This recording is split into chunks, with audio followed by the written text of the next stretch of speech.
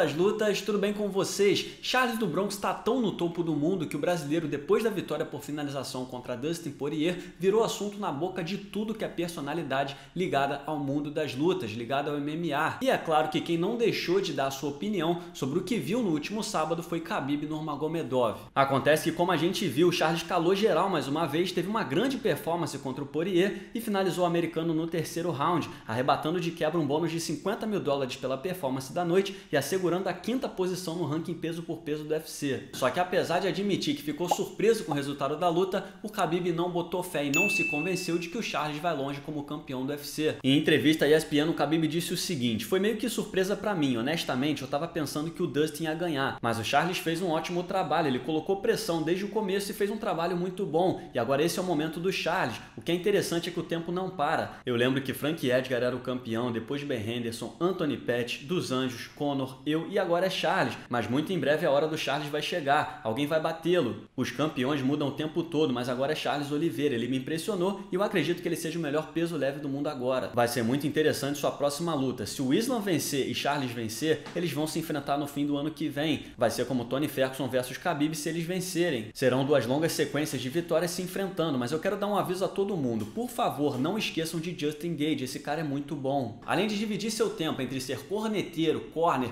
e agora promotor do seu evento, Eagle FC, que está fazendo sua estreia dentro dos Estados Unidos, o Khabib Nurmagomedov também tem atuado como um dos maiores promotores que a gente já viu no mundo das lutas, tamanha a campanha que ele faz pelo seu amigo e seu companheiro de treinos, o Islam Makhachev, que enfrenta no próximo dia 26 de fevereiro o Benil Dariush. Segundo o Khabib, o UFC já tem um plano de tornar o vencedor dessa luta entre Dariush e Makhachev o próximo da fila, o próximo pelo cinturão da categoria dos leves e fazer a disputa de cinturão acontecer no final do ano que vem em Abu Dhabi. O UFC decidiu que o Gage é o próximo, mas o UFC avisou que a luta de Islam contra Dariush vai valer a chance pelo título. Charles deve enfrentar Gage em abril ou algo assim, e aí vai ser vencedor versus vencedor no fim do ano, talvez em Abu Dhabi, foi o que Dana White disse, e esse é o plano do UFC. A gente não sabe o quanto disso é suposição do Khabib e o quanto é verdade, mas o fato é que nessa quinta-feira o Combate.com publicou que o UFC volta a realizar eventos no Brasil com uma edição no próximo dia 7 de maio no Rio de Janeiro. Amigos, tenham certeza que Glover Teixeira ou Charles do Bronx, que é o mais provável, vão liderar esse card. E eu digo mais provável porque o Glover lutou em outubro, então ele deve fazer sua primeira defesa de cinturão como campeão dos meio pesados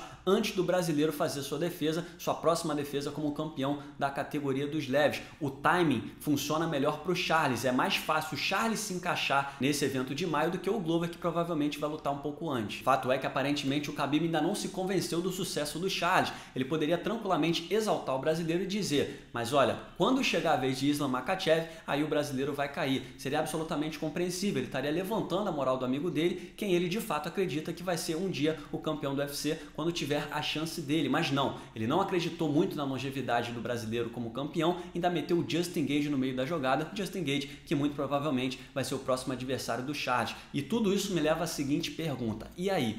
O que, que vocês acharam das declarações do Khabib sobre o Charles do Bronx? Será que o russo dessa vez vai errar a sua previsão sobre a longevidade do brasileiro como campeão dos leves do UFC? Ou será que dessa vez talvez ele acerte? Comenta aí.